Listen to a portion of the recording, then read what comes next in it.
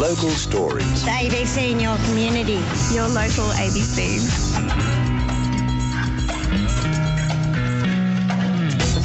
ABC Coast FM. It'll get down to about 15 degrees tonight in Brizzy. Probably much the same on the Gold Coast. That's nothing though, really, is it? Bit of extra cloud cover. That's nothing, especially if you're my next guest. He's experienced a lot worse. When he was 14 years old, he had no choice but to disappear. He felt it was the best just to escape.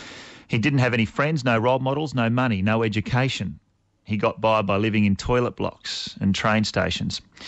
There's a lot more to Gary Poole's story. These days, he's a successful CEO of a day spa and retreat at Mount Tamborine, and tonight he'll be sleeping at Rough. Once again, Gary's taking part in the Vinnie CEO Sleepout. It's a national event helping to raise money for vital homeless services. G'day, Gary.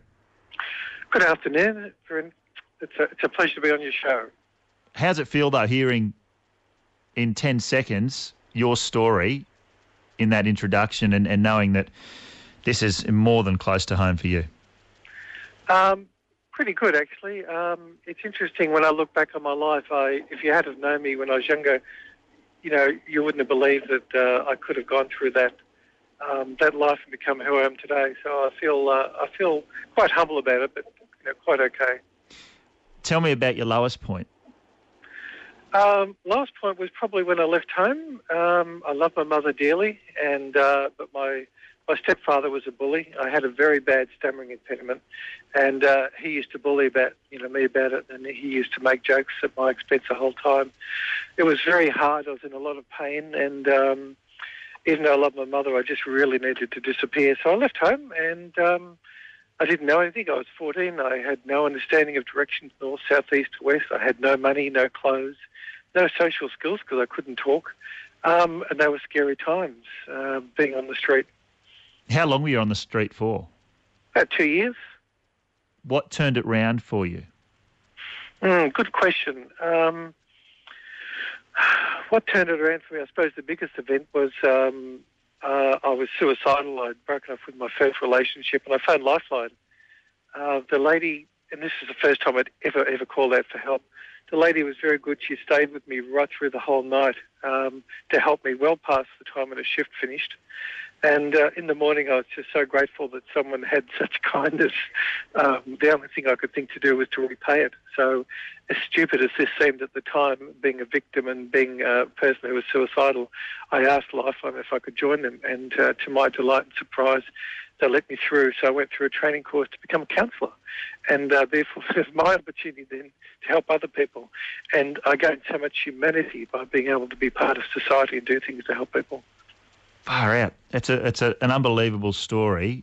When did success start coming your way as a businessman? Now you're running a, a day spa and retreat at, at Mount Tamborine. it sounds very exclusive, and, and here's a bloke that's lived on the streets. What a what a turnaround in your life. When when did you start nailing it and saying, "I've left the past where it belongs, and that's behind me"?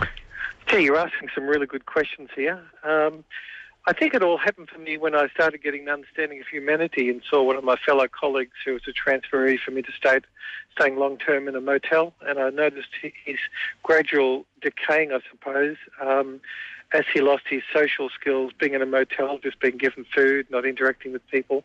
And I came up with the idea of using my service skills of helping people with property and creating serviced apartments. So I did a course, and the course was all about marketing. It was a six-week course, and coming out the end of that was a um, was a mission statement that I wanted to get 100 apartments in five years. And uh, the more people I told, the more I realised that that just wasn't going to happen. They just thought I was an idiot. So um, to cut a long story short, I went in there without any knowledge of serviced apartments and out of sh- sheer belligerence, I built the business up to uh, getting 100 apartments in the first year rather than five years and built it up to 300 apartments in three years. So uh, that's what happens when you have to do something. Congratulations on, on all of that. Seven minutes to five, 91.7 ABC Gold Coast. Having a yarn today with Gary Poole, who is, is one of the bosses taking part in tonight's CEO Sleepout. And I just I just can't get over that. It's it's really come full circle for you, really, hasn't it? You're, you're involved in something that's raising awareness uh, about something that you've, you've lived through. Yeah, and when you think about the empowerment of those people going along tonight, helping people, if if each person there turned around the life of one person, and that person then goes through their life and touch other people, it's really just such an awesome feeling to be part of something that, to me, is just so global. I'm just so so chuffed to be part of it. And it's in Brisbane. Where exactly do you do you roll out the swag? Oh, somewhere in South Bank. I'm not quite sure where it is. I've got okay. my wife who's a chauffeur with the GPS getting us there, but I don't really get. I don't really get out of. Uh, out, out, I mean, out of Mount Tamborine that often, so I'm. Uh, I don't know. I like the sound of it. You've got a chauffeur, a GPS, and you're about to just rough it for the night. yeah, and it'll be interesting because I believe we're going to be given three pieces of cardboard and some. Uh, uh, and some tin soup uh, just to simulate the atmosphere. And honestly, to me, it won't be simulating the atmosphere at all. Physically, it might be, but emotionally, it won't be the same. There'll be, you know, 160 CEOs all sharing, all very emotional tonight. It'll be a closed shop event, but it's not what it's like when you're on the street. It's a lot more um, uh, silent. It's a lot more lonely. It's a lot colder. But you know, hey, these people have got their hearts. They're wearing them on their sleeves. So, you know, power to them. You're an inspiration. If you go to, to ceosleepout.org.au and, and you're inspired by Gary Poole's story, then just get along there and find out how you can help. Find out more about the Vinnie Sleepout, the CEO Sleep Out. So ceosleepout.org.au. Last year the event raised $5.3 million, which is good. And this year, fundraising. How are you going with yours, Gary? And, and how do you think this money should be spent? We're about halfway there. Um, and uh, just because the event's on tonight, it doesn't finish tonight. As far as I'm concerned, that's only the start. Um, in terms of how the money's going to be used, I really don't get involved in that side of it because that's more to the management. But uh, I'm just suggesting for people that there's two ways they can get involved. They can donate it, and as I said, that would be a really powerful thing to do. Or if they do have time, get involved because I can say from my own experiences, it was a real turnaround being able to get down and actually help people, bringing them up. It just gives a sense of purpose. So if people do have the time, please get involved.